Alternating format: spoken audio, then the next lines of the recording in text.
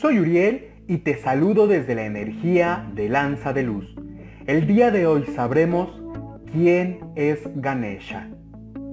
Te invito a que te suscribas a mi canal, a que compartas, comentes y le des me gusta a los videos. Si deseas contactarme, lo puedes hacer en mis redes sociales o en el número telefónico que aparece en tu pantalla. Comenzamos. Es uno de los dioses más conocidos y adorados del panteón hinduista. Tiene cuerpo humano y cabeza de elefante. Es ampliamente reverenciado como removedor de obstáculos, patrono de las ciencias y de las artes, señor de la abundancia. Existen diferentes teorías del origen de Ganesha. Hoy les hablaré de una de ellas. Se dice que un día, mientras Shiva se encontraba en guerra contra los Asuras, Parvati en su casa se sentía muy sola y decidió darle vida a su primogénito mezclando sus lágrimas y sudor de Shiva que había dejado en sus ropas. Un día Parvati se fue a dar un baño y dejó al pequeño niño como custodio de la entrada de su casa, dando la indicación que no permitiera que nadie entrara a casa mientras ella se daba un baño. Ese día, después de un tiempo, regresó Shiva a su casa y al querer entrar se encontró con el pequeño custodio, el cual le negó la entrada a su propio hogar. En ese momento comenzó una disputa y Shiva invocó a los Ganes con un mazo le cortó la cabeza al pequeño Ganesha. Al escuchar tal alboroto, Parvati salió a ver qué es lo que estaba sucediendo y vio al pequeño Ganesha degollado en el piso. Parvati le dijo a Shiva que era su hijo. Shiva al ver el sufrimiento de Parvati, le dijo que le regresaría la vida a su primogénito. Shiva salió en busca del primer ser viviente que estuviera alejado de su madre.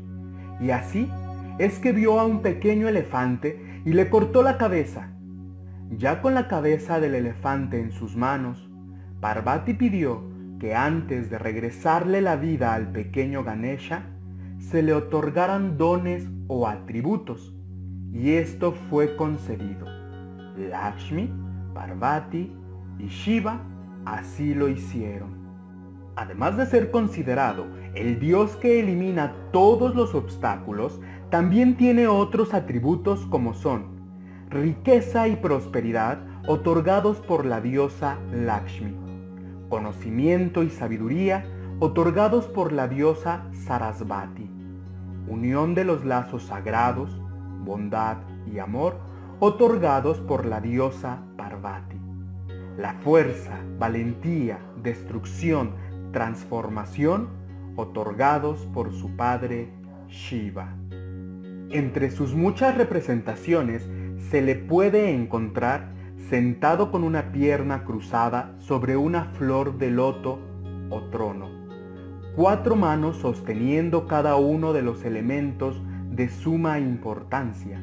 A sus pies se puede ver una ofrenda de frutos, dulces, inciensos, sin olvidar su vehículo transportador como la mayoría de las deidades hindús. En este caso, el de Ganesha es un ratón. El significado de cada uno de sus elementos son soga, para conducir a sus devotos hacia metas más altas y al sendero espiritual. Hacha, para cortar las ataduras de los devotos. Ladu, Dulce hecho con harina de garbanzo, mantequilla frita, leche condensada y frutas secas. Es su dulce preferido y que se usa para compensar a sus devotos por sus actividades espirituales. Eh, un mazo de oro decorado que representa el autocontrol. Una trompa de caracol cuyo sonido alegra a sus devotos un pedazo de colmillo roto como pluma para escribir el Maharabata que le, que le dicta el sabio Vyasa. Una mano extendida en el Varada Mudra, gesto de bendición para impartir gracia a sus devotos. Bajana o vehículo es una rata o bandicoot gigante. La rata representa a los deseos mundanos, los cuales Ganesha es capaz de gobernar a su antojo. Su figura es inconfundible con cabeza de elefante y un corpulento cuerpo humano con una inmensa barriga. Existe un sinfín de formas de invocar a este extraordinario Dios por medio de cánticos y mantras. La manera como yo lo invoco es recitando el mantra principal. Om Gam Ganapatayay Namaha. Om, símbolo sánscrito que representa el principio de la creación del universo. Gam, mantra, semilla que contiene toda la información de Ganesha.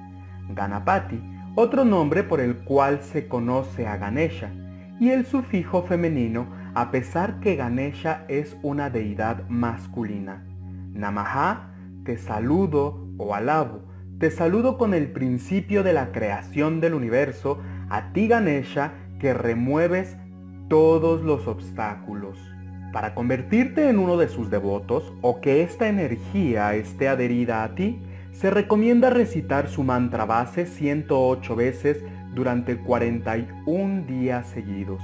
Esto te ayudará a adquirir una disciplina. Posteriormente, se sugiere que antes de recitar cualquier otro mantra o invocar a otra deidad, se le debe invocar a Ganesha, ya que es considerado como el absoluto, es la representación del Om. Se puede colocar una imagen y un altar con los siguientes elementos. Fruta de cualquier especie, cítricos o dulces. Incienso del aroma de tu preferencia. Un vaso con agua, leche y miel. Flores blancas o amarillas. Se recomienda invocar la presencia de Ganesha antes de iniciar un viaje, un nuevo curso, una nueva profesión, antes de comenzar con un nuevo trabajo, contrato o negocio, cualquier actividad física, mental, espiritual, para que los obstáculos sean eliminados y el éxito corone los esfuerzos. Es, espero les haya gustado esta información y me gustaría saber qué ha sucedido en sus vidas a partir que integraron a Ganesha en su día a día. En la caja de descripción les comparto información de los sitios o libros donde pueden encontrar más detalle de este maravilloso Dios. Recuerden compartir la información, comentar los videos y no olviden suscribirse al canal.